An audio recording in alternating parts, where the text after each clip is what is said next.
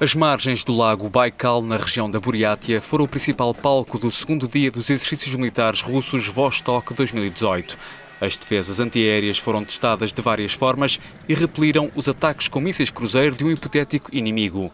Mais de mil militares participaram nestas manobras, em que também foi possível ver em ação o sistema de defesa antiaéreo S-400, considerado como um dos mais avançados do mundo.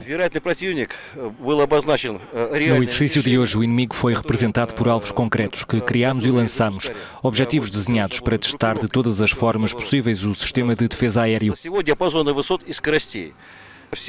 E o que torna estes alvos especiais é que têm características que os tornam duas ou mesmo três vezes mais eficazes do que aqueles que os nossos possíveis inimigos têm.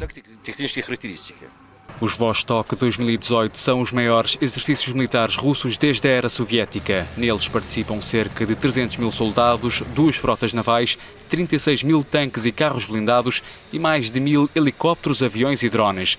A Rússia mostra o poderio militar no leste do país e convidou também os vizinhos China, Mongólia e Coreia do Norte para participar. Exercícios que acontecem numa altura de crescente tensão com o Ocidente e que vão durar até à próxima segunda-feira, dia 17.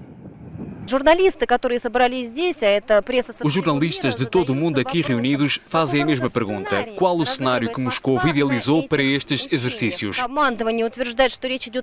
Os responsáveis militares dizem que é um teste à capacidade de defesa do país, mas muitos analistas consideram que o objetivo destes exercícios em Vladivostok é o treino para uma guerra à escala mundial.